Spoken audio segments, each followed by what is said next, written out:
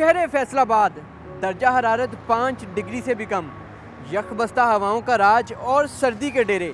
ایسے میں موسمی تبدیلی سے رونما ہونے والی بیماریوں سے کیسے بچا جائے اور ماہرین کیا ہدایات کرتے ہیں؟ آئیے جانتے ہیں۔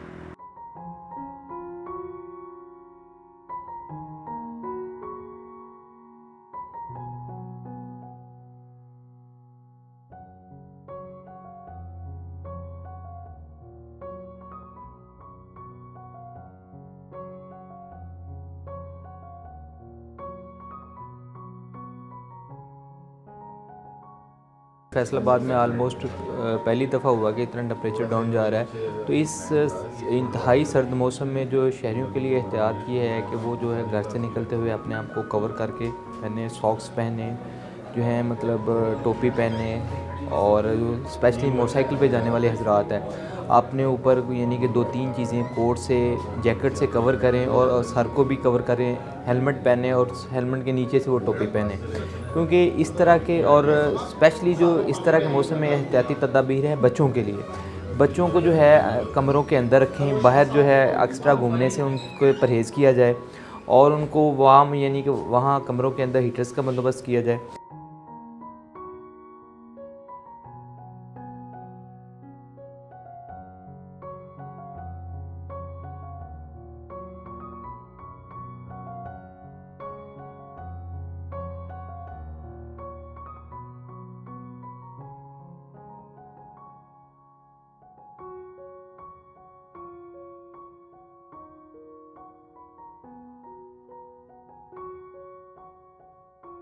اس کے علاوہ جو مطلب بیماریاں لاحق ہو سکتی ہیں، سب سے جو مین جو مطلب سب سے جو اس موسم میں بیماری ہوتی ہے، وہ نمونیا کی ہوتی ہے۔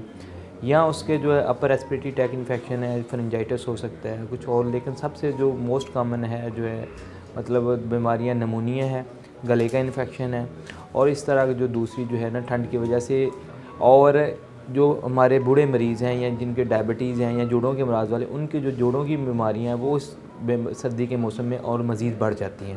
تو ان ساروں کے لیے جو احتیاط ایک ہی ہے سیم ہے کہ اپنے آپ کو کور کر کے رکھیں ساکس پہنیں جیکٹس پہنیں کوٹ پہنیں اور سر پہ جو ہے نا ٹوپی سے جو ہے، اون کی ٹوپی سے یا دوسری جو گرم ٹوپیاں ہوتی ہیں، ان سے کور کریں۔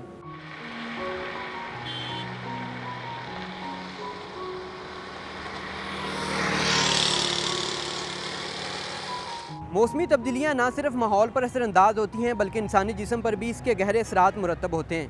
حالیہ موسمی تبدیلی کے باعث نزلہ زکام اور کھانسی کے ساتھ نمونیا جیسی موزی بیماریاں بھی لاحق ہو سکتی ہیں۔ احتیاط کیجیے کیمرہ مین محمد ساجد کے ساتھ Arsalan Nabeel, Bright Star TV, Pakistan.